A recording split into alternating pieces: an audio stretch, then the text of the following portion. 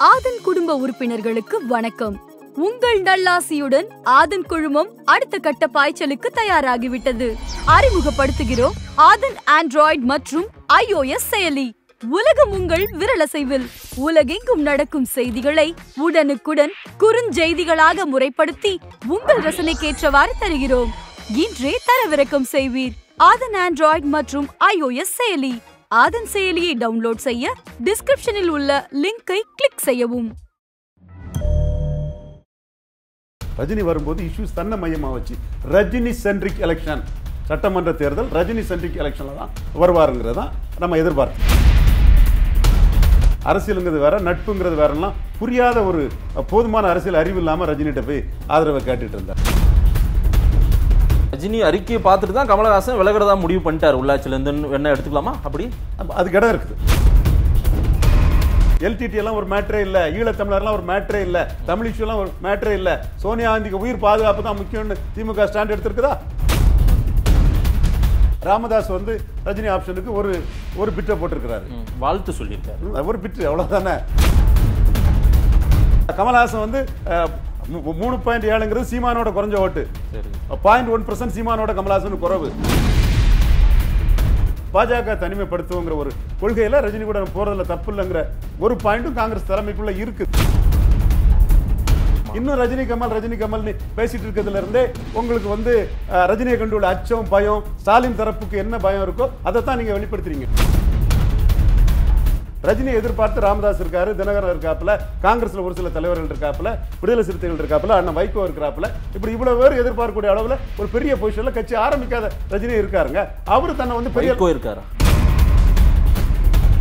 மோடி எந்த அளவுக்கு உயர்ந்து போய் நிற்கிறாருங்கும் போது கூட அவர் பூணல் அடிந்த இந்து உயர்ந்தவர்னா மற்றவங்க எல்லாம் தாழ்ந்த இந்த. இதை வைத்திருக்கணும் ஆர்எஸ்எஸ் பண்ணது ஆர்எஸ்எஸ் பண்ணது அவர்களே அம்பேத்கரை ஏற்றுக்கொண்டு மாலை அணிக்கூடிய ஒரு சூழல் நாளைக்கு வரும்.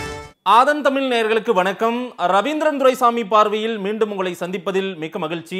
இன்றைக்கு திரு ரவீந்திரன் துரைசாமி அவர்களிடம் கேட்டு பெறவிருப்பது உள்ளாட்சி தேர்தல் நடக்குமா என்ற சந்தேகம் இன்னமும் இருந்து கொண்டுதான் இருக்கிறது. ஏனென்றால் மீண்டும் திமுகவினுடைய வழக்கு நாளைக்கு மறுபடியும் வர இருக்கிறது நீதிமன்றத்தில். அந்த வழக்கு வழக்கின் தன்மை எப்படி இருக்கும் என்று பார்ப்போம். இதில் முக்கியமாக இன்னைக்கு விவாதிக்க வேண்டிய ஒரு பொருள் உள்ளாட்சி தேர்தலில் நான் பங்கேற்க மாட்டேன். எங்களுடைய கட்சி மக்கள் நீதி மையம் பங்கேற்காதுன்னு திரு கமலஹாசன் ஒரு அறிக்கை கொடுத்திருக்காரு.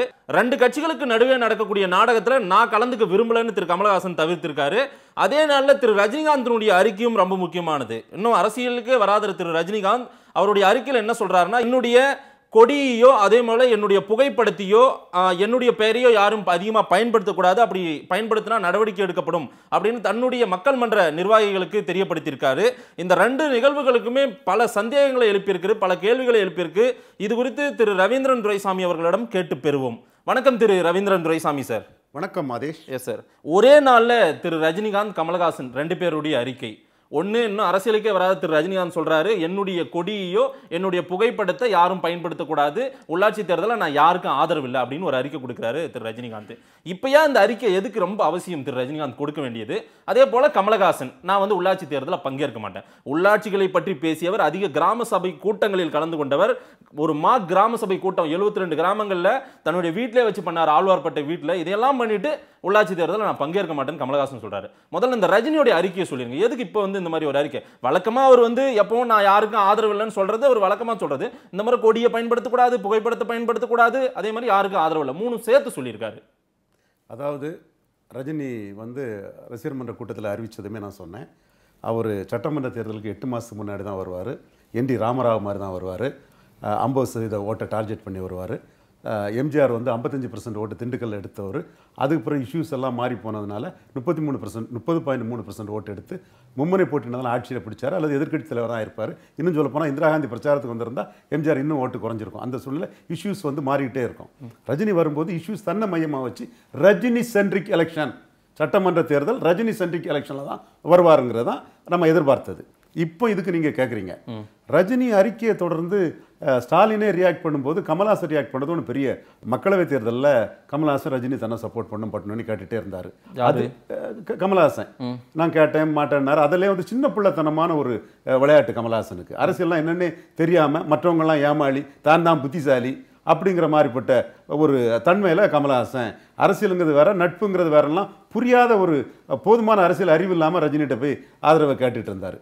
ஸோ அன்னைக்கு ரஜினி வந்து டீசெண்டாக அதை வந்து சில இஷ்யூஸை சொல்லி இதெல்லாம் நிறைவேற்ற உங்களுக்கு ஆதரவுங்கிற மாதிரி அதை தட்டி கழிச்சிட்டு போயிட்டார். ஒன்று இப்போ வந்து எஸ் ஏ சந்திரசேகரர் வந்து அவர் வந்து பல இடங்களில் விஜய்க்கு ஒரு அரசியல் என்ட்ரிக்கு பல இடங்களில் முயற்சி பண்ணார். தப்பு இல்லை ஒரு மகன் மகனை வந்து அவையத்து முந்தியிருப்ப செயல் ங்கிற அடிப்படையில் ஒரு தந்தை வந்து சினிமாவில் அவருக்காக மார்க்கெட்டிங் பண்ணுற மாதிரி அரசியலையும் வந்து காங்கிரஸில் முயற்சி பண்ணாங்க. காங்கிரஸ் வந்து கார்த்திக் சிதம்பரம் ராஜ்யசபாவும் கிடையாது இளைஞர் காங்கிரஸும் கிடையாதுன்னு பண்ணிட்டாரு. அதிமுக முயற்சி பண்ணாங்க. திமுக முயற்சி பண்ணாங்க. நம்ம எல்லாம் தெரிஞ்சோம். அப்போ அவருக்கு ஒரு என்ட்ரி பாயிண்ட் வேணும். அப்போ நம்ம போன்றவங்க "உ- உங்க என்ட்ரி பாயிண்ட் என்ன? ஸ்பெசிஃபை ஸ்பெசிஃபை பண்ணுங்கன்னு கேட்கும்போது அவர் அந்த என்ட்ரி பாயிண்ட்டை ரஜினியை மையமாக வச்சு அந்த விழாவில் பேசிட்டார். அவர் ரஜினியை மையமாக வச்சு பேசியிருந்தா கரெக்டாக இருக்கும். த்ரீ பாயிண்ட் செவன் டூ எடுத்த கமலஹாசனையும் அதில் சேர்த்து மூத்த கலைஞர்களையும் பொதுவாக பேசிட்டார். அப்படி இருக்கும்போது வந்து ரஜினிக்கு வந்து அதை அவுட் ரைட்டாக ரிஜெக்ட் பண்ண முடியாது. ஒரு தங்கள் தலைவர் குடும்பத்தில் உள்ள ஒருத்தர் வந்து சொல்லும்போது வந்து நான் என்ன ஐம்பது பர்சன்ட் பொசிஷன் பண்ணியிருக்கிறேன். கமல் மூணு பாயிண்ட் ஏழு விட்டு தான் எடுத்திருக்கிறாப்புல. என்னையும் கமலையும் ஒப்பிடுதான்லாம். சொன்னால் அது ரஜினி போன்ற ஒருத்தருக்கு அந்த ஸ்டேச்சருக்கு வந்து அஹ், சரியா இருக்காதுங்க போது ரஜினி வந்து அது தேவை ஏற்பட்டால் அவசியம் ஏற்பட்டாலுங்கிற மாதிரி அதில் சொல்லி போனார். பர்சன்ட் பொசிஷன் பண்ணியிருக்கின்றது அவரோட எதிர்பார்ப்பு அவ்வளவுதான். நிச்சயமா எதிர்பார்ப்புங்கிறது தான் உண்மை. என்டிஆரையும் அப்படி தான் எதிர்பார்த்தாருங்க. அது நிஜமாயிட்டு ஏன்னா ப்ரொஜெக்டட் சீஃப் மினிஸ்டர் இல்லாதனால என்டிஆர் அது நிஜமாயிட்டு இங்கேயும் ப்ரொஜெக்டட் சீஃப் மினிஸ்டர் இல்லாதனால நிஜமாகலாம். அது மக்கள் முடிவு பண்ணிட்டு என்ன வராரு எப்படி சொல்லி வராரு சீயிங் இஸ் பிலீவிங்கிற நான் பல சொல்லும்போது அதுல பல இப்ஸ் அண்ட் பட்ஸ் இருக்குது. பட் அவர் பொசிஷன் பண்ணியிருக்காருங்கிறது வந்து மறுக்க முடியாது. சரி. அவர் பொசிஷன் பண்ணியிருக்காருங்கிறத மறுக்கிறவங்க வந்து கில்லிங் இன் சைலன்ஸ் எல்லாம் ரஜினியை பண்ண முடியாது.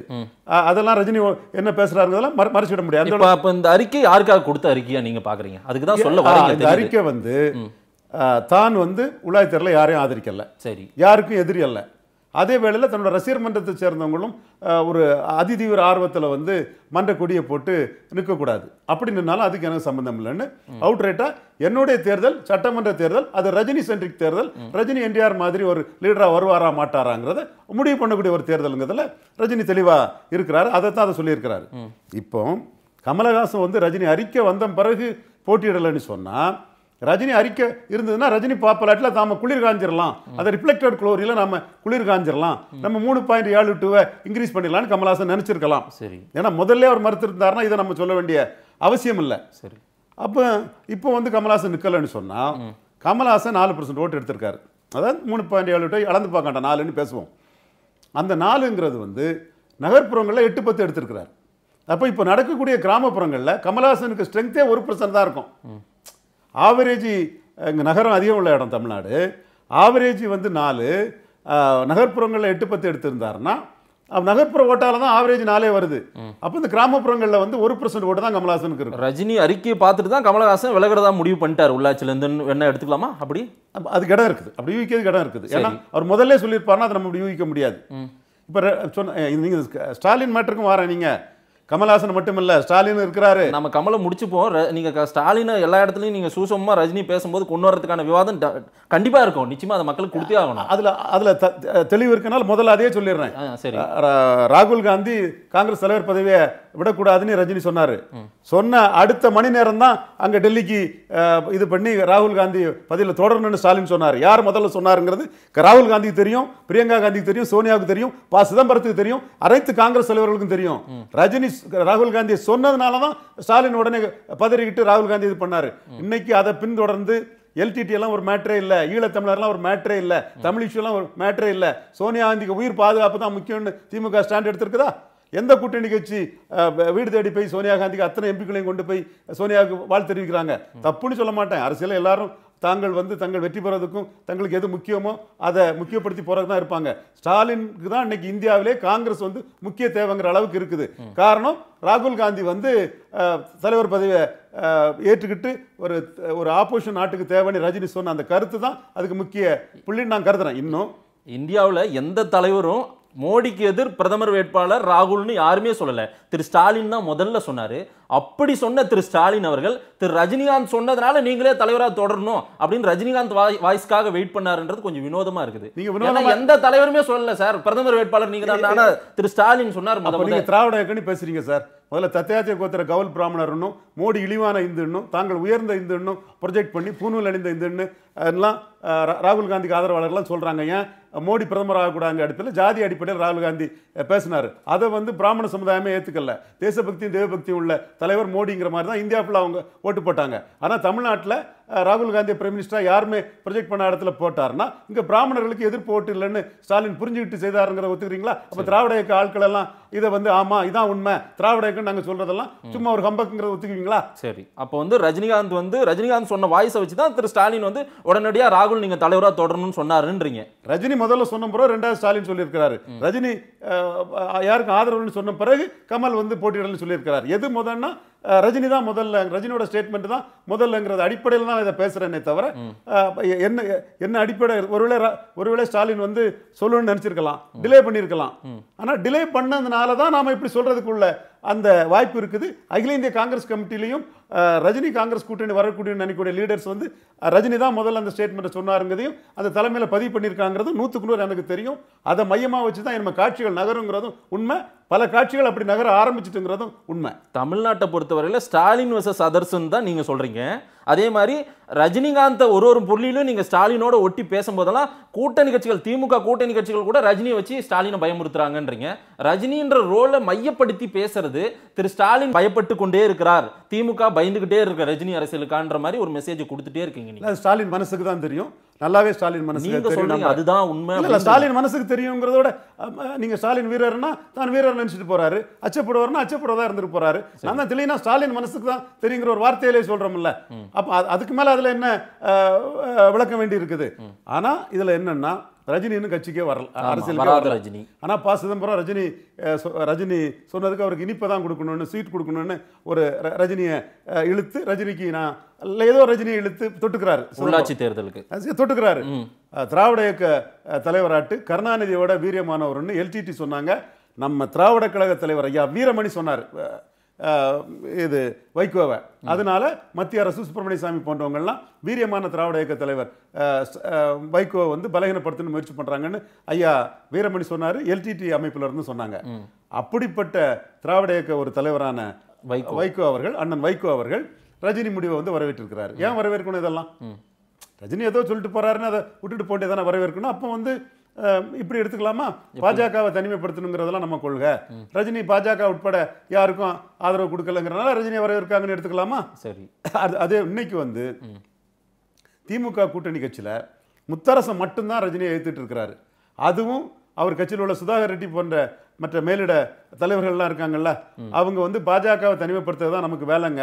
தேவையில்லாமல் நீங்கள் ஏன் ரஜினியை எதுக்குறீங்கன்னு அவரை முத்தரசங்கிட்ட ஒரு ஒரு சஜஷன் கொடுத்துட்டாங்கன்னா அதுக்கப்புறம் அவரும் அஹ், பேசாம இருப்பாருக்குள்ள சூழல் தான் இருக்குது. இதை தவிர மீதி எல்லாருமே வந்து ரஜினியை ஒரு ஆப்ஷனாக தான் பார்க்குறாங்க தினகரன் ரஜினி ஒரு ஆப்ஷனாக பார்த்து சசிகலாவுக்கு போலித்தனமான பொய்யான இம்பார்ட்டன்ஸே தினகரன் உள்ள இருந்தே அடிச்சிட்டாரு. ஒன்று ரஜினியை வச்சு ஏதாவது மூவ் பண்ணலான்னு பன்னீர் நினைச்சாருன்னா அதை அதை ஓவர்லுக் பண்ணிட்டாரு. அடுத்தபடியா தான் வந்து டால் பொலிட்டிக்ஸ் பண்ணி சீஃப் மினிஸ்டர் கேண்டிடேட்டுங்கிற அளவு இருந்த இருந்த தினகரன் அஞ்சு பாயிண்ட் அஞ்சு புள்ளி ஓட்டில் வந்து தான் தான் டிசைடிங் ஃபேக்டர் அந்த அடிப்படையிலையும் ஒரு தனக்கு ஒரு முக்கியத்துவத்தை வந்து லைட்டாக வந்து உருவாக்கிக்கிட்டாரு. அதனால இன்னைக்கு தினகரனுக்குள்ள முக்கியத்துவம் வந்து இந்த ரஜினியை பற்றி அவர் பேசுறதுக்கு முன்னாடி இருந்த முக்கியத்துவத்தை விட தினகரனுக்கு முக்கியத்துவம் இப்போ வந்து அதிகப்படுத்தியிருக்கு. ஸோ அதிகமாக இருக்குது ஸோ ரஜினி ஆப்ஷனை தினகரன் எதிர்பார்க்காருன்னு நம்ம சொல்லலாம். அதில் தான் போவார் நம்ம சொல்ல வரல. நாளைக்கு கடைசியில் தான் அது தெரிய வரும். ராமதாஸ் வந்து ரஜினி ஆப்ஷனுக்கு ஒரு ஒரு பிட்டை போட்டிருக்கிறாரு. வாழ்த்து சொல்லியிருக்காரு. ஒரு பிட்டு அவ்வளோதானே சரி. வாழ்த்து சொல்லியிருக்கிறாரு. எனக்கு என்னன்னா எனக்கு வர்ற பெரிய சந்தேகமே நிரூபிக்கப்பட்ட கட்சிகள் இங்க வெற்றி பெற்ற கட்சிகள் இங்க அதிகாரத்தை சுவைத்த கட்சிகள் வராத ரஜினிக்காக இப்படி எல்லாம் பிளான் போடுறாங்கன்றது உங்களுடைய வா- உங்களுடைய பார்வையா இருக்கு. நான் அதை தரவுகளோட தானே சொல்கிறேங்க தரவு இல்லாமல் நான் மொட்டைச்சாத்தான் குட்டையில் விழுந்தேன்னு சொல்லவங்க சொல்கிற மாதிரியோ பிரைமரி எவிடன்ஸ் இல்லாமல் நான் எதுவும் பேச மாட்டாங்க. தமிழுக்கு ஒரு நல்லுலகத்துக்கே தெரியும். ரவீந்திர துரைசாமி சொல்கிறது தப்போ சரியோ எது சொன்னாலும் ஒரு எவிடன்ஸ் சொல்லுவாப்புல ரவீந்திர துரைசாமிங்கிறது தான் என்னோட ஸ்பெஷாலிட்டி. தினகரன் வந்து ரஜினியை பற்றி பேச வேண்டிய அவசியம் என்ன என்ன இருக்குது? ரஜினி அரசியல் வரக்கூடாதுன்னு சொல்லக்கூடிய உரிமை யாருக்கு இல்லைன்னு சொல்ல வேண்டிய அவசியம் என்ன இருக்குது? சினிமா கல்- கலைஞர்களே எழுத்துட்டு இருந்த ஒரு அஹ், ராமதாஸ் வந்து திடீர்னு வாழ்த்து தெரிவிக்க வேண்டிய அவசியம் என்ன இருக்கு? அது ஒரு லிஸ்ட்டை எடப்பாடிட்ட கொடுத்து எடப்பாடி இன்டர்கலேஷன் கொண்டு வருவாருங்கிற இதை சூ- சூழ்சமத்தை புரிஞ்சுக்கிட்டு வாழ்த்து தெரிவிக்க வேண்டிய அவசியம் என்ன இருக்குது? இன்னும் வந்து அதிமுக கூட்டணியில் ஒரு சீட்டு கூட ஜெயிக்காத ராமதாஸ் வந்து ஸ்டாலின்கிட்ட கூட்டணி ஆப்ஷன் ரிமோட் இல்லவே இல்லைன்னு எதையும் சொல்ல முடியாது. என்றாலும் ஸ்டாலின்கிட்ட போனால் அது ஒரு சரண்டர் மாதிரி தான் சத்திரியர் ராமதாஸுக்கு ஸ்டாலின்கிட்ட போகிறது மிகப்பெரிய ஒரு சரணாகதி மாதிரி தான் இருக்கும். சத்திரியர்னு அவர் தான் சொல்றாரு. கிளைம் பண்றாரு. நான் அதுக்குள்ள மறுக்க வரல அதெல்லாம். சரி. ஆனா அவர் ஸ்டாலின்கிட்ட போனாருன்னா அது சரண்டர் மாதிரி தான் இருக்கும். அப்படி இங்க ஜெயிக்கல. அப்போ மீண்டும் வந்து அவர் வந்து ரஜினி ஆப்ஷனை வந்து ராமதாஸை எடுக்க எடுக்கக்கூடாது. இந்த பாணியில தான் கமலஹாசனும் ஒரு பர்சன்ட் தான் நமக்கு கிராமப்புற உள்ளாட்சியெல்லாம் நாம போய் பங்கேற்றோம்னா அதெல்லாம் நிலைமை. அதனால ரஜினிக்காக காத்திருப்போம்னு முயற்சி பண்ணாரு. ரஜினி என்னுடைய ஆதரவு யாருக்கும் இல்லைன்னொடனே பின்வாங்கிட்டாருன்றீங்களோ? நிச்சயமா கமல்ஹாசன் ரஜினி ஆப்ஷனை மட்டும் பார்க்கல. நலம் விசாரிக்க வந்தாங்க ஸ்டாலின் ஆப்ஷனையும் பார்க்கறாரு. நம்ம வந்து அலர்ட்டா இருக்கணும். One must be very alert in politics Kamal Haasan வந்து மூணு பாயிண்ட் ஏழுங்கிறது சீமானோட குறைஞ்ச ஓட்டு. சரி. பாயிண்ட் ஒன் பர்சன்ட் சீமானோட கமல்ஹாசன் குறைவு. சீமான் கண்டஸ்ட் பண்ணாரு. கமல்ஹாசன் கண்டஸ்ட் பண்ணல. இதெல்லாம் உண்மை. பாயிண்ட் ஒரு பர்சன்ட் ஓட்டு எடுத்த சீமான் வெள்ளூர்ல நின்னாரு விக்ரவாண்டில நின்னாரு நாங்குநேர்ல நின்னாரு. கமல்ஹாசன் நிக்கல. உள்ளாட்சியிலும் நாம் தமிழர் இருக்கு கமல்ஹாசன் நிக்கல. ஆனா கமல்ஹாசனுக்கு ஆப்ஷன் வந்து ரஜினி தாங்கிறது மாதிரி ரஜினி கமல்ங்கிற மாதிரி எல்லாரும் பேசினாலும் கூட கமல்ஹாசன் கொடுத்த அறிக்கையில நலம் விசாரிக்க வந்தார்கள்ங்கிற ஒரு அறிக்கை வந்து பூடகமா வந்து ஸ்டாலின் ஆப்ஷனும் தனக்கு இருக்குங்கிறத கமல்ஹாசன் காட்டுறாரு. இது யாருக்கான மெசேஜ் கமல் அப்படி கொடுக்கறது. இது கமலுக்கு கொடுக்கக்கூடிய மெசேஜ் நிச்சயமா வந்து ரஜினிக்கான மெசேஜ் தான். பட் ரஜினிக்கும் வந்து கமல் வந்து ஒன்றும் ப்ரியாரிட்டி அலை அல்ல. கமலும் ஒன் ஆஃப் தி ஒரு அலையா அப்புறம் தானே என்ன சார்? தேவைப்பட்டா நாங்க சேர்ந்து போகணும் எல்லாம் பேச வேண்டியது அவரோட மேடையில? நிச்சயமா. அதுல தப்பே இல்லை. தேவைப்பட்டாலும் தானே இருக்காங்க. யாரோட தேவை அவசியம்னு சொன்னா நான் லிஸ்ட் பண்றேங்க. ரஜினியோட மொத தேவை வந்து திமுக காங்கிரஸ் உடைக்கிறது தாங்க ரஜினியோட மொத தேவை. ஏன்னா வித்தவுட் காங்கிரஸ் வந்து திமுக வந்து கருணாநிதி தலைமையில் இருபத்தெட்டு பர்சன்ட் ஓட்டு தாண்டினதில்லை. அப்போ ஸ்டாலின் தலைமையில் அது இருபது இருபத்தி ரெண்டு தான் வரும். ஈஸியாக ஸ்டாலினை வீழ்த்திடலாம் காங்கிரஸை கையில் எடுத்தாங்கிறதா தெரியும். இது வந்து ஏசிசிக்கு தெரியும் காங்கிரஸோட முக்கிய தலைவர்களுக்கு தெரியும் இன்னைக்கு தமிழ்நாட்டில் உள்ள பல காங்கிரஸ் தலைவர்களுக்கும் தெரியும். ஆனால் இருக்க இடத்துல கரெக்டாக இருப்போம். இப்போ அவங்க ஸ்டாலின் கூட ஃபிட்டாக இருக்கிறதுனால ஸ்டாலினோட உழைப்பால் திமுக தொண்டர்கள் உழைப்பால் ஒம்பது சீட்டு அவங்களுக்கு பாண்டிச்சேரியும் சேர்த்து கிடைச்சதுனால இருக்க இடத்துல அவங்க இருக்கிறாங்க வெற்றி பெற்ற கூட்டணியில் இருக்கிறாங்க. பட் இந்த உண்மை அவங்களுக்கு தெரியும். அடுத்து வந்து ப்ரியாரிட்டிங்கிற லெவலில் பார்த்தீங்கன்னா வெற்றி பெற்றவங்களுக்கு தான் மரியாதை. சரி. எந்த ஒரு அலையன்ஸ்லையும் வந்து வெற்றி பெற்றவங்களை தான் எடுப்பாங்க. அப்போ காங்கிரஸுக்கு தான் மரியாதை விடுதலை சிறுத்தைகளுக்கு தான் மரியாதை மதிமுகவுக்கு தான் மரியாதை கம்யூனிஸ்டுகளுக்கு தான் மரியாதைங்கிறது வந்து இயல்பான ஒன்று ஒரு ஒரு வரலாற்று பழிய சுமந்துக்கிட்டு இன்னைக்கு திமுக காங்கிரஸோட பயணிச்சிட்டு இருக்கு. அது உங்களுக்கு தெரியும். தமிழீழ விவகாரத்துல ஒரு வரலாற்று பழி இன்னைக்கு வந்து அந்த பழி ஒட்டுமொத்த பழியும் திமுக மேல இருக்குது. அப்படி இருக்கிற ஒரு திமுக நாளைக்கு காங்கிரஸ் காங்கிரஸ் வந்து திமுக வேணாம்னு சொல்லிடுமா என்ன? ரஜினி ஆப்ஷனுக்காக காங்கிரஸ் வெயிட் பண்ணிட்டு இருக்க மாதிரி நீங்க பேசுறீங்க. திரு ராகுல் அந்த முடிவை எடுத்துருவாரு தமிழ்நாட்டுல. அதெல்லாம் நம்ம பொறுத்திருந்தாங்க பார்க்கணும். இதுக்கு நான் சொல்லக்கூடிய ஒரே எக்ஸாம்பிள் அரசியல் என்னைக்குமே அஹ், இந்திரா காந்தி வந்து சஞ்சீவ் ரெட்டியை ப்ரப்போஸ் பண்ணாங்க கிரீக்கு ஒர்க் பண்ணாங்கன்னு போது அரசியலில் மாற்றம் எப்படியும் வரலாங்கிறது தான் யதார்த்த உண்மை. அந்த வகையில் நீங்கள் வந்து ஸ்டாலின் வந்து காங்கிரஸ் கொடுக்கக்கூடிய முக்கியத்துவத்தை வந்து நான் மறுத்து பேசவே மாட்டேன். ஸ்டாலின் ராகுலை சீஃப் பிரைம் மினிஸ்டர் ப்ரொஜெக்ட் பண்ணாரு. இன்னைக்கு வந்து எல்டிடி தமிழ் இஷ்யூ எல்லாம் தள்ளிக்கிட்டு சோனியா பாதுகாப்பு தான் பெருசுங்கிறாரு. எல்லா வகையிலும் முக்கியத்துவம் கொடுப்பாங்க கொடுக்குறாங்க. ஆனா இதே ஸ்டாலின் தான் ரெண்டாயிரத்தி பதினாலில் வந்து காங்கிரஸை வந்து கலத்தி விட்டாரு. கலத்தி விட்டு பரிதவிக்க விட்டு எட்டு எம்பியில் வந்து யாருமே இல்லாம சிதம்பரம் போன்றவர்கள்லாம் வந்து ஸ்டாலின் கலத்தி விட்டதுனால இன்னைக்கு இன்னைக்கு நம்ம கமலஹாசன் சொல்றோமே ரஜினி அறிக்கை விட்டதுன்னு கமலஹாசன் போலன்னு சொல்லலாம் இதே பா சிதம்பரம் ஸ்டாலின் வந்து கூட்டணி இல்லாம பண்ணது நான் கண்டஸ்டே பண்ண மாட்டேன்னு ஓடினாரு. நான் கண்டஸ்டே பண்ண மாட்டான்னு சிதம்பரம் ஓடினது. திமுக கூட்டணி இங்கே இல்லைன்னு தெரிஞ்சதும் ஓடினார். இதுதான் அரசியல் வரலாறுகள். நம்ம இதையும் நம்ம கமலஹாசனை மட்டும் விமர்சனம் பண்ணக்கூடிய நம்ம சிதம்பரமும் அப்படித்தாங்கிறதையும் நம்ம இங்க இடத்துல பதிவு பண்ண வேண்டிய நிலைமையில இருக்கிறோம். சரி. ஆனா இன்ன- இதே ஸ்டாலின் வந்து அன்னைக்கு காங்கிரஸ் நடந்தவர். இன்னைக்கு ரொம்ப நல்லா நடக்கிறாரு. ஏன்னா காங்கிரசின் தேவை ஸ்டாலினுக்கு அதிகமா இருக்குது. இதை காங்கிரஸ் உணர ஆரம்பிக்கிறாங்க. என்னங்க உண்டு? நான் தாங்க இதை முத முத பிரேக் பண்ணி அஹ், ஒரு அனலிஸ்டா சொன்னேன். இப்போ அது அதை அதை மையமா வச்சு நடக்குதா இல்லைங்களா? சரி. அப்போ ஸ்டாலின் அதை உணர்றாரு காங்கிரஸ்காரன் உணர்றாங்க உணர்றாங்க. அப்போ ஸ்டாலினுக்கு என்ன நிர்பந்தம் வரும்?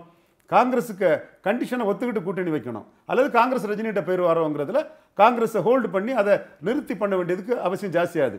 இன்னும் எந்த காங்கிரஸ் பெரிய அளவில் செல்வாக்கு இல்லாமல் கிறிஸ்டின் முஸ்லீம்ஸுக்கு ஒரு ஓட்டுக்கு வந்து ஒரு கேட்டலிஸ்ட் போல்ஸாக இருக்கக்கூடிய காங்கிரஸுக்கு இவ்வளோ மரியாதை இருக்குது இன்னைக்கு.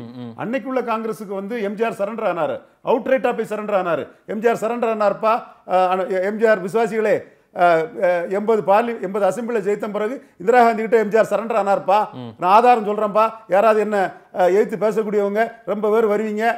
வாங்கப்பா நான் உங்களுக்கெல்லாம் ஆதாரம் தரேன். சரி. அதே மாதிரி கருணாநிதி வந்து எம்ஜிஆரை தோக்கடிக்குங்கிறதுக்காக மைனர் பார்ட்னரா பதினாறு எம்பி சீட்டுக்கு அஹ், சம்மதிச்சாரு. ஃபிஃப்டி ஃபிஃப்டின்னு காங்கிரஸுக்கு சம்மதிச்சாரு. இன்னைக்கு அசம்பிளியில். இன்னைக்கு அப்படி ஒரு பலம் காங்கிரஸுக்கு இல்லை. நீங்க சொல்ற மாதிரி காங்கிரஸ் தனிச்சு போட்டிட்டா மூணு நாலு பர்சன்ட் ஓட்டில் தான் இருக்குது.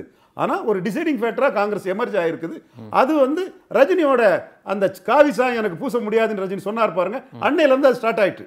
யாரு? காங்கிரஸ் வந்து அந்த வலையை ரஜினி பக்கம் திருப்பிட்டாங்க. பார்வையை ரஜினி பக்கம் திருப்பிட்டாங்கன்றீங்க. இல்ல காங்கிரஸ் வந்து பாஜகவை தனிமைப்படுத்துறதுக்கு சிவசேனாவே சப்போர்ட் பண்ணியிருக்கிறாங்க. சரி. அப்படி இருக்கும்போது தமிழ்நாட்டில் பாஜக வந்து ரஜினி மூலமா வந்து ஒரு ஃபுட்ஹோல்டு எடுத்துடக்கூடாதுங்கிறதுக்காக பாஜக தனிமைப்படுத்துவோங்கிற ஒரு கொள்கையில ரஜினி கூட போறதுல தப்பு இல்லைங்கிற ஒரு பாயிண்ட்டும் காங்கிரஸ் தலைமைக்குள்ள இருக்குது. அப்படி ஒரு பாயிண்ட்ல வந்து ரஜினி காங்கிரஸ் ஒரு ஒருங்கிணைப்பு வந்ததுன்னா ஸ்டாலின் திமுக வந்து ஒரு திமுக சீஃப் மினிஸ்டராக ஒரு மூதறிஞர் ராஜாஜி வேணும். ஒன்பது புள்ளி ஒரு பர்சன்ட் அறுபத்தி எடுத்தவர். அவர் ஏழு புள்ளி எட்டு பர்சன்ட் ஓட்டு எடுத்திருந்தார். அவர் ஒரு கூட்டெடுப்புச்சியான பசுமன் முத்துராமலிங்க தேவர் ஒன்று பாயிண்ட் மூணு சதவீத ஓட்டு எடுத்து சுதந்திரா ஃபார்வர்ட் பிளாக் அணி ஒன்பது புள்ளி ஒரு சதவீத ஓட்டு எடுத்த அணி தான் திமுகவுக்கு வந்து அன்னைக்கு முக தேவர் தான் அன்னைக்கு இருந்தார் முத்துராமலிங்க இறந்து போனார். அவர் வந்து திமுகவுக்கு வந்து அறுபத்தேழு திமுக வெற்றிக்கு துணை நின்னுது. அதே மாதிரி எழுபத்தி இந்திரா காந்தி துணை நின்னாங்க. தொண்ணூத்தாறில் மூப்பனார் துணை நின்னாப்புல. ரெண்டாயிரத்தி ஆறில் வந்து சோனியா காந்தியும் டாக்டர் ராமதாஸ் துணை நின்னாங்க. அதுக்கு பிறகு திமுக ஆட்சிக்கு வரணும்னா திமுகவுக்கு ஒரு மூப்பனாரோ ஒரு சோனியா காந்தியோ ஒரு இந்திரா காந்தியோ ஒரு முதறிஞர் ராஜாஜியோ பொதுத்தள ஓட்டை கொண்டு வரதுக்கு தேவைப்படுறாங்க. மற்றபடி திமுக வந்து சில ஜாதிகளுக்கு எதிராட்டு துவேஷமும் வன்மமும் ஒரு ஜாதிக்கு எதிராக இன்னொரு ஜாதியை திருப்பி பண்ணக்கூடிய அரசியல் பண்றதுனால அவங்களுக்கு ஒரு ஸ்டேச்சுரேட்டட் ஓட் பேங்க் தான் கருணாநிதி இருக்கும்போதே இருந்தது. அந்த ஓட் பேங்கை இன்னைக்கு அழகிரி வெளியே போனதுனாலையும் ரஜினி வந்து கருணாநிதியோட ஒரு நண்பராக கருணாநிதியை குளோரிஃபை பண்றதுனாலையும் அந்த ஓட் பேங்க்லேயும் ஒரு ஒரு கிராக் இருக்கலாங்கிற ஒரு சூழல் வந்து ரஜினி வரும்போது வாய்ப்பு இருக்கு. அப்படிப்பட்ட ஒரு சூழ்நிலையில காங்கிரஸை விட்டு விட்டுடக்கூடாதுங்கிற ஒரு நிர்பந்தம் திமுகவுக்கு இருக்குது இருக்குது. சரி. திரு ரஜினிகாந்தோட காங்கிரஸ் சேர்றத பாஜக விரும்புமா? இல்ல பாஜக அதை தடுக்க தான் சார் பார்க்கும்? பாஜக தடுக்க முயற்சி பண்ணலாம். பாஜகவுக்கு என்ன இருக்கு? காங்கிரஸ் வந்து திமுக திமுக கூட்டணியில் கிறிஸ்டின் முஸ்லீம் ஓட்டு கேட்லிஸ் போல்ஸா இருக்குது. பதிமூணு பர்சன்ட் கிறிஸ்டின் முஸ்லீம் தான் இன்னைக்கு தமிழ்நாட்டில் கருத்துருவாக்கத்தை டாம் டாமினேட் பண்றாங்க. ஆனானப்பட்ட பிராமணர்களே அவுட் ஆயிட்டாங்க கிறிஸ்டின் முஸ்லீம் பவர்ல. கிறிஸ்டின் முஸ்லீம் தான் வெரி பவர்ஃபுல்லா வந்து கருத்துருவாக்கம் எல்லா தளங்கள்லையும் பண்றாங்க. அப்போ வந்து அந்த பலமான சக்தி பதிமூணு பர்சன்ட் ஓட்டு உள்ள சக்தி அதுக்கு கேட்லிஸ் போல்ஸா காங்கிரஸ் இருக்குது. பாஜகவுக்கு என்ன இருக்குது? பாஜக சட்டமன்ற தேர்தல்னா ஒன்றரை பர்சன்ட் தானே இருக்குது. ரஜினி அரசியலை வச்சு தான் சார் எல்லாமே தீர்மானிச்சிட்டு இருக்காங்க பாஜக தமிழ்நாட்டை பொறுத்தவரையில அப்படின்றாங்க. அவங்க எப்படி சார் இப்படி எல்லாம் விட்டுருவாங்க? காங்கிரஸுக்கு ஒரு கதவு ஓபன் ஆயிட்டே இருக்கு ரஜினி பக்கம் அப்படின்ற மாதிரி நீங்க பேசுறீங்க. நிச்சயமா வந்து பாஜக வந்து என்ன செய்திட முடியும் ஒன்றரை பர்சன்ட் ஓட்டை வச்சுட்டு. அவங்க தலைவர் மாநில தலைவரே போடாம தானே இங்க வச்சிருக்காங்க ரஜினி வச்சு மூவ் பண்ணணும்னு நினைக்கிறாங்க தமிழ்நாட்டு அரசியல். அப்படின்னு தான் எல்லாருடைய பார்வையா இருக்கு. அது என்னைக்கு ரஜினி வந்து காவி சாயம் பூச முடியாதுன்னு சொன்னாரோ சரி. அன்னைக்கு வந்து அது அப்படி நிலைய நிக்கல ரஜினி. உடனே ஒரு அரை மணி நேரத்துல மறுபடியும் ஒரு பிரஸ் மீட் கொடுத்துட்டாரு. மறுபடியும் ஒரு பேட்டி நிச்சயமா தெளிவா தான் அதுல இருக்கிறாரு. எங்க சார் தெளிவா இருந்தாரு? ரொம்ப ஒரு மணி நேரத்துல அடுத்த மறுபடியும் ஒரு பேட்டி வைக்கிற வரலாறுல தமிழக அரசியல் வரலாறுல ரஜினி தான் சார் இப்படி நீங்க. வந்து ஒரு திமுக தொண்டர் மாதிரி அதை வந்து ஒரு கிடையாது ஸ்ட்ராட்டஜி என்னன்னு தெரியாம நீங்க அதுல பேசுறீங்க. ஸ்ட்ராட்டஜி இல்ல சார். ஒரு ஒரு பேட்டி கொடுக்குறோம் அடுத்த ஒரு மணி நேரத்துல அடுத்து ஒரு பேட்டி வைக்கிறீங்கன்னா என்ன அது? என்ன பாணி? நிச்சயமா ரஜினிகாந்த் கொடுக்குற நிச்சயமா நிச்சயமா. மத சார்பற்ற காங்கிரஸ் கூட்டணி ரஜினி எதிர்பார்க்கிறார். மத சார்பற்ற காங்கிரஸ் கூட்டணி வரலன்னா சிபிஎம் சிபிஐ எதிர்பார்ப்பார். சரி. அதனால காங்கிரஸ் தன் பக்கம் வரணும்னு சொன்னாலே கூட பிஜேபியை முழுசா க்ளோஸ் பண்ணிட்டா காங்கிரஸ் வராது. காங்கிரஸ் ரஜினி பக்கம் வர்றதுக்கு காரணமே பிஜேபியை தனிமைப்படுத்துறதுக்கு தான் காங்கிரஸ் வரணும். ரஜினியே பிஜேபியை தனிமைப்படுத்திட்டாருன்னா காங்கிரஸை தனிமைப்படுத்த பிஜேபியை தனிமைப்படுத்தக்கூடிய வேலை காங்கிரஸுக்கு இல்லை. இந்த இடத்துல தான் ஸ்டாலினுக்கு வியூகம் வந்து முழுக்க முழுக்க பிஜேபி கூட எந்த உறவும் இல்ல கிடையாதுன்னு ஹண்ட்ரட் பர்சன்ட் ஆப்ஷனை க்ளோஸ் பண்ணி பண்ணக்கூடிய அரசியல் வந்து கிறிஸ்தவ முஸ்லீம் வாக்காளர் மத்தியில் நம்பிக்கை கொடுக்குமே தவிர காங்கிரஸ் வந்து ஸ்டாலின் வந்து பிஜேபியை முழுக்க க்ளோஸ் பண்ணிட்டாரு. ரஜினி முழுக்க க்ளோஸ் பண்ணல. அதனால பிஜேபியை தனிமைப்படுத்த நம்ம ரஜினி கிட்ட போனா ஸ்டாலின் கம்யூனிஸ்ட் கூட நிற்பாப்ல நம்ம எதிரியான பிஜேபி இங்க தனிமைப்படுறேன்னு காங்கிரஸ் ஒரு முடிவு எடுக்கிறதுக்கு வாய்ப்பு இருக்குங்கிறத நான் நான் சொல்றேன். சரி. ரஜினி வந்து பிஜேபியை வந்து தனிமைப்படுத்திட்டால் ப- படுத்திட்டால் காங்கிரஸுக்கு அந்த நெசிட்டியே வராத ரஜினியே பிஜேபியை தனிமைப்படுத்திட்டாரு. நம்ம ஸ்டாலின் கூட இருப்போங்கிற மாதிரி தானே காங்கிரஸ் எடுப்பாங்க இதெல்லாம் ஒரு நுணுக்கமான ஸ்ட்ராட்டஜிக்கல் பாயிண்ட் நீங்க வந்து அதை உணர்வுபூர்வமா நீங்க மேக்ரோவா நீங்க பேசுறீங்கனால தான் இதை இவ்வளவுக்குள்ள எனக்கு கொஞ்சம் அஹ், விளக்கி சொல்ல வேண்டியது இருக்கு. உண்மையிலே இதை வந்து நுணுக்கமா அரசியலை பார்க்கக்கூடியவங்களுக்கு இது வந்து நிச்சயமா புரியும். ரஜினிக்கு ஸ்டாண்டை வந்து சரிதான். பொலிட்டிக்கல் ஆப்ஷன் என்ன சொல்லி வரப்போறாருன்னே தெரியாத ரஜினின்றீங்க. ஆனா எல்லா கட்சிகளும் ரஜினியுடைய அரசியலுக்காக காத்திருக்கிற மாதிரி நீங்க பேசுறீங்க. இல்ல காத்திருக்கிறதுக்கு மாதிரி நான் பேசல. பாஜக யூகத்தை ரஜினியை வச்சு போடுறாங்கன்னு சொல்றீங்க. அந்த பேச்சு வைகோ பேசுறத வச்சு தான் நான் சொல்றேன். சிதம்பரம் வரவேற்பு வாழ்த்து அதெல்லாம் சொல்றது சரிதானே சார்? அதுல அரசியல் நோக்கம் இருக்குன்னு நான் சொல்றேன். நீங்க இல்லைன்னு வேணா சொல்றதுக்கு உங்களுக்கு உரிமை இருக்கு. நோக்கம் இருக்கா இல்லையான்னு ரஜினி கட்சி ஆறும்போது எப்படி அதிர்துன்னு பார்க்கும்போது அப்ப நான் சொன்னது கரெக்ட்டுங்க தெரிய வரும். இதுவரை ரஜினி ரஜினி சென்றிக்கா நான் சொல்றதானே பெரும்பாலும் கரெக்டாட்டு வந்திருக்குது. எட்டு மாசம் முன்ன தான் பண்ணுவாரு அவர் வந்து என்டிஆர் மாதிரி தான் வருவாரு. இதெல்லாம் நம்ம சொன்னதானே அந்த கரெக்டா வந்துட்டு இருக்குங்கிறது நம்ம பார்த்துட்டு தானே இருக்கிறோம். இப்பவும் வந்து ரஜினி வந்து உலாய் தேர்தலுக்கு யாரையும் ஆதரிக்க மாட்டாருங்கிறது நம்ம சொல்ல தானே செய்தோம். ரஜினி கமல் எல்லாம் சேர்ந்து வந்துட்டாங்கன்னு பிரபல ஆங்கில பத்திரிகைகள் ஊடகங்கள்லாம் அண்ணா வந்துட்டாங்க இன்னும் வந்துட்டாங்கன்னு சொல்லும்போது இல்லைங்க உள்ளாட்சி தேர்தலில் யாரையும் ஆதரிக்க மாட்டாருங்க. கமல்ஹாசனுக்கு ரஜ்- ரஜினி வந்து த்ரீ பாயிண்ட் செவன் அவர் தனக்கு ஒரு பொசிஷன் வச்சுருப்பார். அ- அந்த தனக்கு ஒரு அளவு உயரத்தை வச்சுக்கிட்டு அதற்கு ஏற்க அந்த த்ரீ பாயிண்ட் செவனுக்கு தாங்க கமல்ஹாசன் மதிப்பார். அவர் க்ரோட் புல்லார் அவருக்கு ஒரு சமூக பின்னணி இருக்குது. அவருக்கு ரசிகர் பலம் இருக்கு. அதுக்கு தக்கன ஒரு மதிப்பை கமல்ஹாசன் கொடுப்பாரே தவிர இதே மாதிரி தான் ராமதாஸ் வியூ பண்ணுவார் தினகரன் வியூ பண்ணுவார். எல்லாத்தோட காங்கிரஸை வெளியெடுத்துட்டா போட்டியாளராக கருதக்கூடிய ஸ்டாலினை வந்து வீக்கெண்ட் பண்ணிடலாம்னு நினைப்பாரு ரஜினிகாந்த்ங்கிறத நான் சொன்னேன். இல்லை ஓட்டரசியில் ரொம்ப பலம் வாய்ந்தவர் நீங்கள் ரொம்ப உங்களுடைய கணிப்புகள் பெருசு நீங்கள் ஒரு கட்சியில் துணைத் தலைவராகவே இருந்தவங்க உங்களுக்கு நல்லாவே தெரியும் சார். ஒரு பேஸ் ஒரு அடித்தளம் உள்ளாட்சி சார். இதிலேயே இவங்க ரெண்டு பேரும் பங்கேற்கலன்னா அவங்க கட்சி கொடியே இல்லைன்னா அவங்க தொண்டர்கள் அங்கே பயன்படுத்திட்டு அவங்க ஓட்டு கேட்டு போட்டுமே. பேஸ் தானே சார். வார்டு உறுப்பினர் ஒன்று தேவையா இல்லை அந்த கட்சி. டைரெக்டாக நீங்கள் முதல்வர் ஆசையிலேயே கூட இருங்க ரஜினிகாந்தும் கமலஹாசனும். அது உங்கள் ஆசை அது. நீங்கள் ஆசைப்பட்டுக்கோங்க. ஆனால் ஒரு பேஸ் இந்த இடத்துல பங்கேற்க மாட்டேன் விலகி நிற்கிறேன் அப்படின்றது என்ன மாதிரி பாணி என்ன மாதிரி மு க. ஸ்டாலினுக்கு தெரியும் சார். ரஜினி அளவு உயரம் என்னன்னு. கமல்ஹாசனுக்கு அளவு உயரம் டெஸ்டடு ரஜினிக்கு அளவு உயரம் என்னன்னு மு க. ஸ்டாலினுக்கு தெரியும் சார். அதை நீங்க போக போக பாப்பீங்க சார். நீங்க என்ன வேணாலும் இப்ப பேசுங்க சந்தோஷப்படுங்க. உங்க சந்தோஷம் you are at at your liberty to be happy இப்படியெல்லாம் சொல்லி கமல்ஹாசன் ரஜினிகாந்த் ஈக்குவேட் பண்ணி நீங்க சந்தோஷப்படுறது உங்க உரிமை யாரும் தடுத்துற முடியாது. ஏன்னா ரஜினி அன்டெஸ்டட் தான். நாங்க அவர் டெஸ்ட் பண்ணி வரும்போது வந்து பெரிய அளவில் வருவாருங்கிறது ஒரு சிலரோட பார்வை. அந்த பார்வை வந்து பார்வை என்டால்ஸ் பண்ணக்கூடிய அளவுக்கு தினகரன் ரஜினியை பற்றி பேசுறாரு. ராமதாஸ் ரஜினியை பற்றி பேசுறாரு சிதம்பரம் ரஜினியை பற்றி பேசுறாரு வைகோ ரஜினியை பற்றி பேசுறாரு திருமாவளவன் ரஜினியை பற்றி பேசுறாரு. அப்ப எல்லாத்துக்குமே ரஜினிக்கு ஒரு ஆப்ஷன் ஓபன் பண்றாங்க. அதனால இவங்கலாம் ரஜினி கூட போயிருவாங்க நான் சொல்ல வரல. ஸ்டாலின் பேரம் பேசுறது கூட பண்ணலாம். இல்ல என்னோட கேள்வி ஒரு கட்சிக்கு உள்ளாட்சி தேர்தல் உள்ளாட்சியில பங்கேற்கணுன்றது நடைமுறையில இருக்கணுமா வேணாவா? இல்ல இல்லாம கூட டைரக்டா முதலமைச்சர் ஆயிக்கலாமா? ரஜினி கட்சியே ஆரம்பிக்கலங்க. ஆமா. என்டிஆர் அப்படிதானங்க ஆனாரு? சரி. ஏன் என்டிஆர் ரஜினி வந்து எமுலேட் பண்ணக்கூடாது? நான் பலமுறை விளக்கம் கொடுத்துட்டேன். என்டிஆருக்கு ஆப்போசிட்ல யாருமே கிடையாது. அன்னைக்கு ஒரே ஒரு காங்கிரஸ் மட்டும் தான் இருந்தது உங்களுக்கே தெரியும். அன்னைக்கு அவர் என்டிஆர் பலமா வந்துட்டாரு. இன்னைக்கு அப்படி கிடையாது. தினகரன் இருக்காரு கமல் இருக்காரு சீமான் இருக்காரு திரு ஸ்டாலின் இருக்காரு எடப்பாடி பழனிசாமி ஓபிஎஸ் தரப்பு இருக்கு. இவ்வளவு பேர் இருக்காங்க. அதுக்கு தான் ரஜினி வர போறாரு களமாட நிச்சயமா, போறாரு அரசியல் வந்து ஒன்று வந்து சாஃப்ட் பெட் இல்லை ஹார்ட் பேட்டில் தான். யாருக்கும் கடுமையாக போரிட்டு தான் வரணும். அந்த அதெல்லாம் தெரிஞ்சவர் தான் ரஜினிகாந்த். சரி. நிச்சயமா வந்து இன்னைக்கு வந்து ப்ரொஜெக்டட் சீஃப் மினிஸ்டர் இல்லைங்கிறத ஒத்துக்கிட்டீங்களா? அல்லது வெற்றிடம் நிரம்பிட்டு ஸ்டாலின் நிரப்பிட்டாரு பன்னீரும் எடப்பாடி நிரப்பிட்டாருன்னு சொல்றீங்களா? ப்ரொஜெக்டட் மினிஸ்டர் இல்லைன்னு ஒத்துக்கிட்டீங்களா அதை அவங்களே ஒத்துக்கிட்டாங்க. திரு எடப்பாடி சொல்றாரு.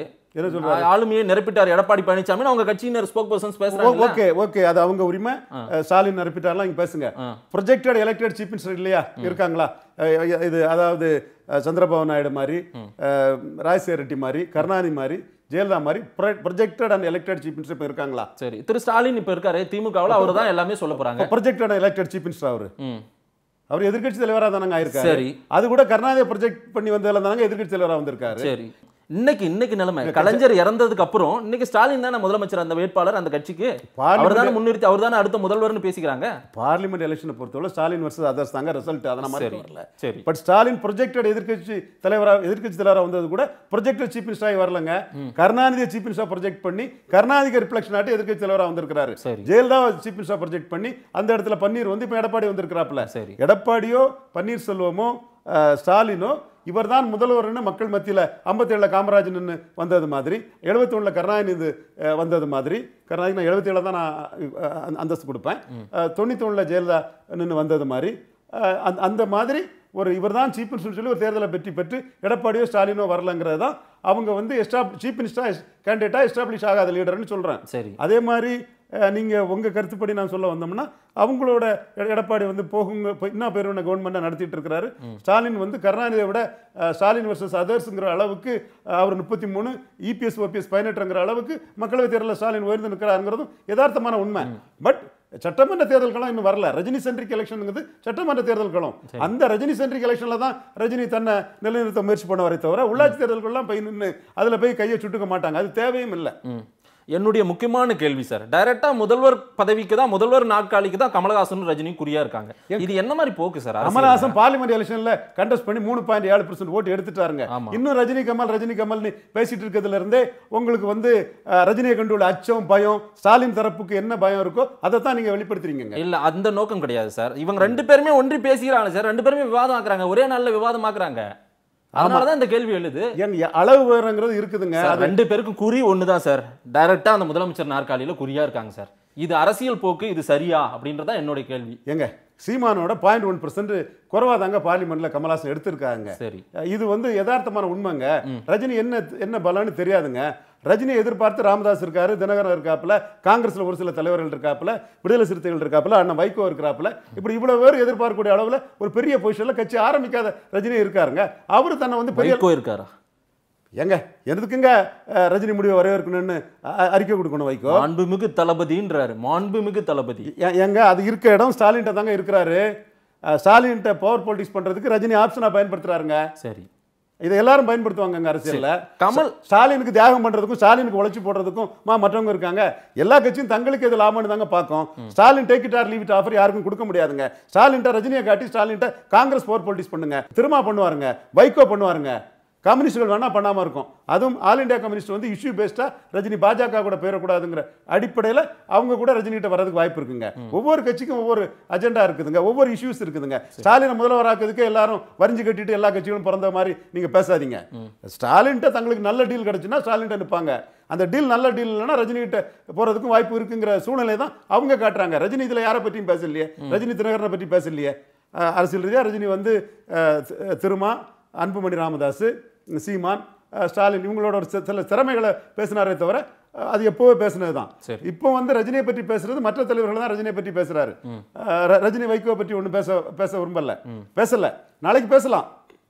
நாளைக்கு வைகோ கூட்டணி வேணும்னு சொன்னா ரஜினியை பேசலாம். நாளைக்கு கம்யூனிஸ்ட் கூட்டணி வேணும்னு கேட்டானா எம்ஜிஆருக்கு உதவுன மாதிரி எனக்கு உதவுங்க கம்யூனிஸ்ட் தோழர்கள். ஒரு மாற்றத்தை கொண்டு வரது கம்யூனிஸ்ட் ஏன் பக்கம் இருக்கணும்னு ரஜினி பேசலாம். நாளைக்கு காங்கிரஸ் வந்து அறுபத்தேழுல இழந்த ஆட்சிக்கு பிறகு அஹ், நீங்க வந்து ஒரு மீண்டும் நீங்க ஆட்சியில் பங்கேற்கக்கூடிய அளவுக்கு ஒரு வித்தியாசமான முடிவு எடுங்கன்னு கேட்கலாம். ரஜினி தேவைன்னு வரும்போது ரஜினி கேட்கலாம். ஆனா இன்னைக்கு ரஜினி வந்து கட்சியே ஆரம்பிக்கல.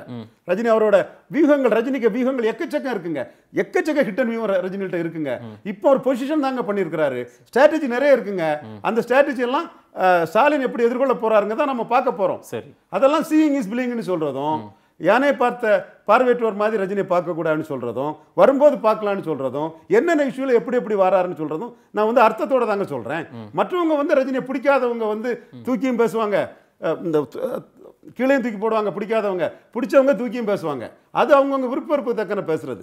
நான் வந்து இன்னைக்கு உள்ள களம் எப்படி இருக்கு? யார் யாரெல்லாம் ரஜினி எதிர்பார்க்குறாங்கன்னு சொல்றதை தரவுகளோட தான் சொல்றேன். கமலோட பலம் என்ன sir? Three point seven two எடுத்து நிரூபிச்சிருக்காரு. அவரும் வந்து இந்த வரிசையில தினகரன் சீமான் அந்த வரிசையில கமலும் இடம் பிடிச்சிருக்காரு. ஆனா இப்போ வந்து ஒரு தேர்தலில் விலகி நிற்கிறாரு அவருடைய பலம் தான் இப்போ என்ன? கமல்ஹாசனுக்கு பலம் அவருக்கு வந்து அவர் ஜாதிக்கு எதிர்ப்பு கிடையாது.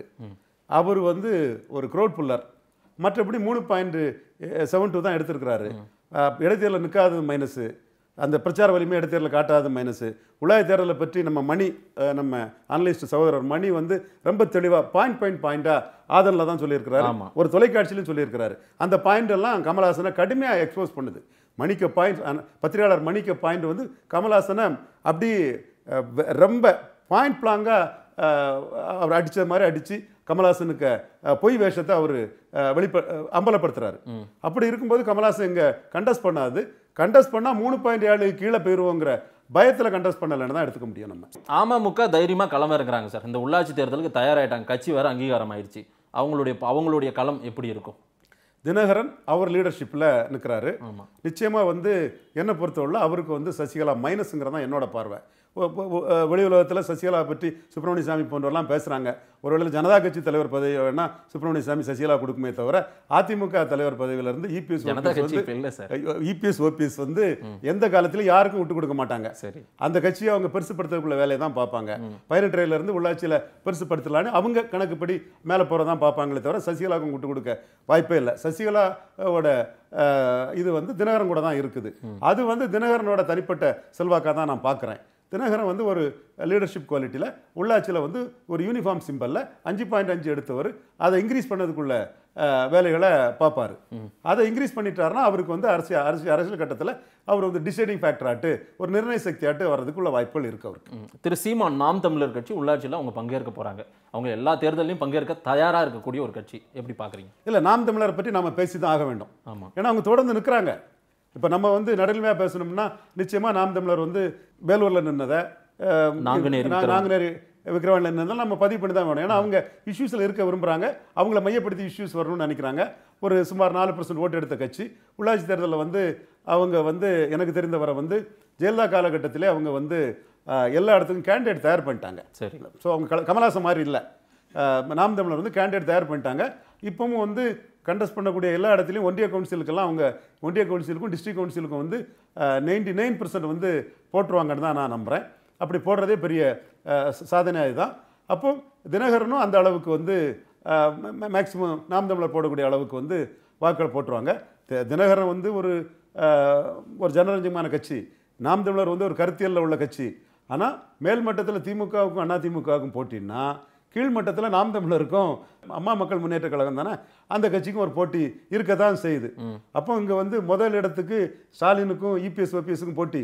மூன்றாவது இடத்துக்கு தினகரனுக்கும் நாம் தமிழர் சீமானுக்கும் போட்டி இருக்குங்கிறதா கமல் அந்த. போட்டியில் இல்லை இப்போ. கமல்ஹாசன் ஒதுங்கிட்டார்? கண்டஸ்டே பண்ணலங்க இல்ல அவர் அவர் ஒதுங்கிட்டார் அவ்வளவுதான் முடிஞ்சு போச்சுன்றீங்களா எப்படி? சரி அது அது வந்து தோல்வியை ஒத்துக்கிட்டு ஒதுங்கின மாதிரி தான். தினகரனோட சீமானோட நான் கீழேங்கிறத ஒத்துக்கிட்டு கமல்ஹாசன் போன மாதிரி தான் அர்த்தம். சரி. இதுல என்ன இருக்குது?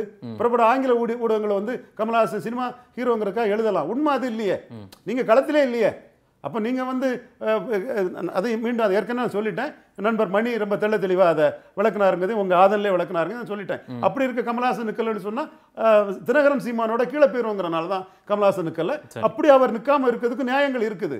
அவருக்கு கிராம பகுதிகளில் வந்து ஒரு பர்சன்ட் ஓட்டுங்கிற லெவலில் அவர் வச்சுக்கிட்டு அவர் வந்து எடுத்த ஓட்டு தென் சென்னையிலையும் ஸ்ரீபெரும்புதூர்லையும் கோயம்புத்தூர்லையும் ஈரோட்லையும் ஒரு பர்சன்ட் ஓட்டு உள்ள இடத்துல வந்து நின்றுட்டான்னா நிச்சயமாக தினகரன் சீமானு கீழே தான் இருப்பாப்புல. இப்போ வந்து தினகரனும் சீமானும் கமல்ஹாசனை விமர்சனம் பண்ண மாட்டாங்க. ஏன்னா மூணு பாயிண்ட் ஏழு பர்சன்ட் ஓட்டு எடுத்தவர் நிற்கலையே அப்போ எதுக்கு நம்ம கமல்ஹாசனை விமர்சனம் பண்ணணும்? கமல்ஹாசன் ஓட்டு நமக்கு வராதான்னு தினகரன் நினைப்பாரு. நமக்கு வராதா? தமிழன் கமல்ஹாசன் ஓட்டு நமக்கு வராதான்னு சீமானு நினைப்பாப்புல. ரெண்டு பேருமே விமர்சனம் பண்ண மாட்டாங்க. மற்ற கட்சிகளும் பெருசாக விமர்சனம் பண்ண- பண்ண மாட்டாங்க. ஆனால் அதிமுக வந்து கமல்ஹாசனை கடுமையாக விமர்சனம் பண்ணுது. ரஜினி கமலை ஒட்டிய விவாதம் சார் இது. நிறைய கேள்விகள் சொன்னேன் ஆனா நீங்க ஒரு கலவையா எல்லா கட்சியும் இதுல கொண்டு வந்துட்டீங்க. ஒட்டுமொத்தமா ரஜினிக்காக காத்திருக்கக்கூடிய கட்சிகள் காத்திருக்கக்கூடிய தலைவர்கள் அப்படின்னு நிறைய கட்சிகள் சூசகமா நிறைய விஷயங்களை சொல்லியிருக்கீங்க. உங்களுக்கு கிடைத்த தகவல் படி இதையும் மக்கள் கிட்ட கொண்டு போய் கொடுக்குறோம். மக்கள் என்ன சொல்றாங்கன்னு பார்க்கலாம். எனக்கு கிடைத்த தகவலை பேசுகிறத விட அந்த தலைவர்கள் என்ன பேசுனாங்கன்னு அவங்க ஸ்டேட்மெண்ட்டை வச்சு அதுக்கு நான் ஒரு இன்டர்பிரிட்டேஷன் நான் கொடுத்தேன். நான் கொடுத்த இன்டர்பிரிட்டேஷன் சரியா தப்பாங்கிறத காலம் உணர்த்தும். நன்றி. மிக்க நன்றி திரு ரவீந்திரன் துரைசாமி சார். நன்றி நேர்களே மீண்டும் ஒரு ரவீந்திரன் துரைசாமி பார்வையில் சந்திப்போம். நன்றி வணக்கம்.